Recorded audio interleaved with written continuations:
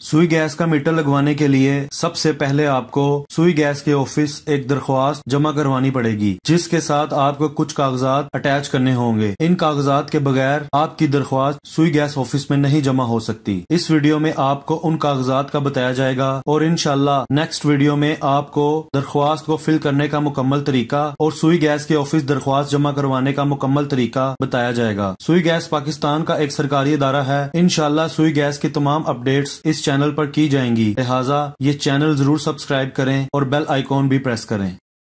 Metre लगवाने के लिए जिन कागजात की ज़रूरत है, उनमें सबसे पहले है दरख्वास्त फॉर्म यानी application for domestic gas connection ये याद रहे कि ये दरख्वास्त सिर्फ़ उसी मकान या प्लॉट की जमा करवाई जा सकती है, जिसके आगे सुई गैस की पाइपलाइन मौजूद होगी। इस एप्लीकेशन को आप कंपनी की ऑफिशियल वेबसाइट www.sngpr.com.pk से डाउनलोड करके उसका प्रिंट लेकर यूज़ कर सकते हैं। किसी भी इंटरनेट कैफ़े से आप ये एप्लीकेशन डाउनलोड करवा के सिर्फ़ दस रूपए में उसका प्रिंट हासिल कर सकते हैं और इस एप्लीकेशन की फोटोकॉपी को भी यूज़ किया जा सकता है। कि आप एप्लीकेशन को किसी भी नजदीकी सुई गैस ऑफ़िस से भी फ्री हासिल कर सकते हैं। इस एप्लीकेशन को फिल करने का मुकम्मल तरीका आपको नेक्स्ट वीडियो में ज़रूर बताया जाएगा। और ये एप्लीकेशन सुई गैस ऑफ़िस में जमा करवाने की कोई फ़ीस नहीं है। यानी सुई गैस का मीटर लगवाने के लिए दरख्वास्त सुई गैस के ऑफ़िस फ्री जमा करवा सकते हैं।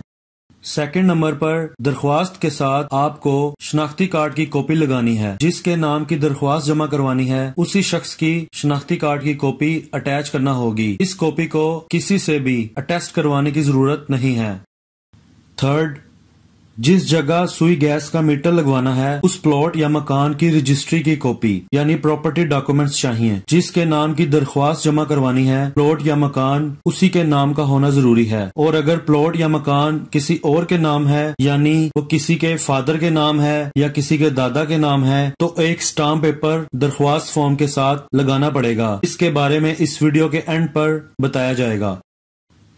फोर्थ नंबर पे आपको इस जगह सुई गैस का मीटर लगवाना है। उसके हमसाए में से किसी का सुई गैस का बिल चाहिए। उस गली में से किसी भी घर का सुई गैस का बिल या उसकी कॉपी दरख्वास्त के साथ लगानी है। और अगर हो सके तो जिस जगह मीटर लगवाना है, उस जगह अगर वापडा का मीटर लगा है तो उस बिजली के बिल की कॉपी भी दरख्वास्त के साथ अटैच कर दें। जो दरख्वास्त जमा करवा रहा है, अगर प्लॉट या मकान उसके नाम नहीं है तो उसको दरख्वास्त के साथ एक स्टाम्प पेपर भी लगाना पड़ेगा। स्टाम्प पे जो लिखवाना है, इस वीडियो में आप देख रहे हैं। इसको स्टॉप करके भी रीड कर सकते हैं, या इसका स्क्रीनशॉट ले लें, और ये टेक्स्ट आपको इस वीडियो की डिस्क्रिप्शन में भी मिल जाएगा। प्लीज़ इस इन्फॉर्मेशन को दूसरों के साथ शेयर करें, और अगर कोई सवाल है तो कमेंट्स में आप पूछ सकते हैं। दरख्वास्त फिल कैसे करनी है, और जमा कैसे करवानी है इनशाला नेक्स्ट वीडियो में बताया जाएगा। So please once again request request to subscribe our channel. Thank you.